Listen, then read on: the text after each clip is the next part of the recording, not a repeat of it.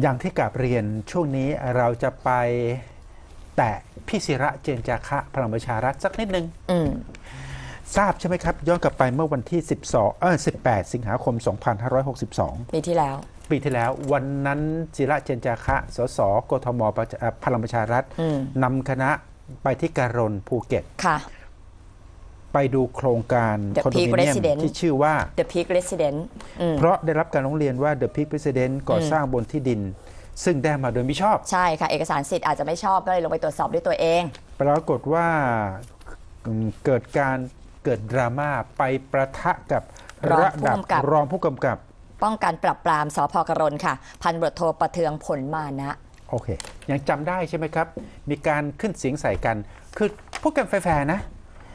บุคลิกของสสท่านก็ดูองค์เยอะอยู่เป็นธรรมชาติอยู่แล้วล่ะเขาเป็นธรครนมชาติเสียงดังสแบบสนี้แหละอืมธรรมชาติสสเนี่ยองค์จะเยอะอยู่แล้วล่ะบุคลิกกันนะครับอืมปรากฏว่าตามคลิปที่เกิดเรื่องที่เป็นไฮไลท์ปรากฏว่าท่านรองผู้กำกับเผลอตัวไปหน่อยอืมพยายามอธิบายไงอธิบายเสียงดังเผลอ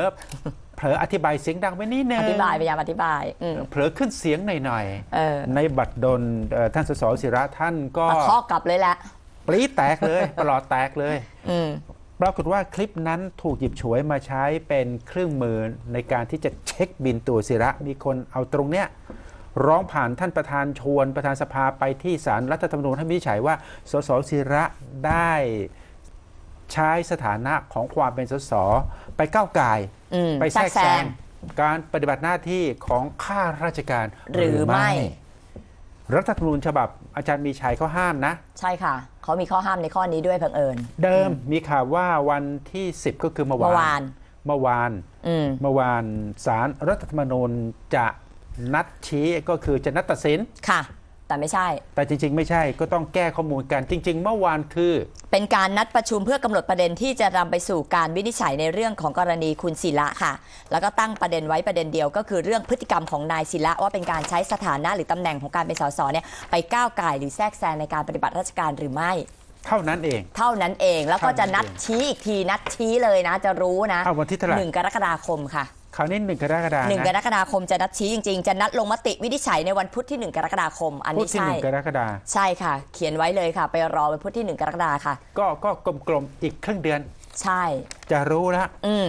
เมื่อวานประเด็นเดียวด้วย เมื่อวานสสเอ่อประประธานโทษสวหลุดไปแล้วหนึ่งใช่ค่ะ วันที่หนึ่งกรกฎาคมสสจะหลุดหรือไม่ ลุ้นๆ ยังไม่รู้ต้องรอดูกันหนึ่งกรกฎาคมนี้นะคะ แต่พูดกันตรงๆนะ อืม ที่ดินที่ที่ที่ที่ที่ถูกซื้อมาใช้ในการก่อสร้าง The Peak Residence มีปัญหาจริง ๆ นะ อืมที่กะลนภูเก็ต The Peak Residence มีปัญหาเรื่องเอกสารสิทธิ์ที่ดินจริง ๆ นะ อืมและผู้ที่เกี่ยวข้องกับการนตรงนั้น ก็ดูแปลกๆจริง ๆ นะ อืมนั่นก็เป็นอีกคดีหนึ่งนะ ต้องไปดูนั่ไปนตรวจสอบเป็นอีกส่วนหนึ่งไปว่านะกันอีกส่วนคนละกรณีกับพฤติกรรมของศิละนะ เป็นคนละส่วนกัน แต่ตรงนั้นก็ต้องคนเกี่ยวข้องก็ควรจะลงไปตรวจสอบด้วย ถูก อืมไม่ใช่ว่าคุณศิละมาโดนอันนี้แล้ว ไม่ตรวจสอบตรงนั้นก็เป็นกระบวนการหนึ่งที่ค่ะดินของ The Peak Residence ที่การนภูเก็ต มันได้มาโดยชอบหรือไม่ อืมเป็นที่ดินบาปหรือเปล่า เออ มาจากไหนมายังไงก็ต้องไปมาตรวจสอจาบกไหนกันมาอย่างไร ต้องมีคำตอบนะ ค่ะ ใครคะ ต้องแยกออกจากศิระกลางนะพฤติกรรมศิละศิก็ระส่วนหกนึ่งลาง ก็ให้สารรัฐธรรมนูญ เขาชี้ไปวันอืมที่หนึ่งกรกฎาก็รู้อืมแต่ที่ดินถูกต้องไม่ถูกแต่ต้อไอ้งที่ดินถูกต้องหรือไม่ถูกต้องเป็นหน้าที่ของใครไปที่ค่ะไหนอืมประมาณนั้น ไปตามนะ เดี๋ยวเราจะไปตามอะนะอืมเดี๋ยวจะไปอยากตามตามให้อืมอยากตามจริงแต่ไม่มีใครพูดค่ะ